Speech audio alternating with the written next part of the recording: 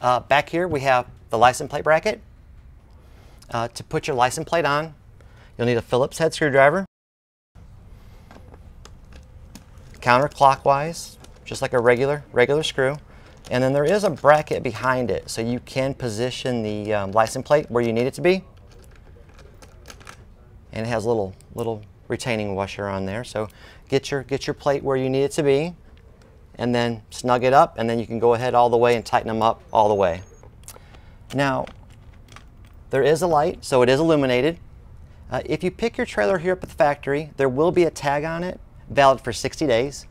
So you will have a, a temporary license plate. Um, that way uh, you can register, have time to register it when you get home. Now, if you want to bring your own plate with you, that's fine. Just let your salesperson know ahead of time. But, um, but you know, don't worry about it because we will have a temporary license plate tag for you.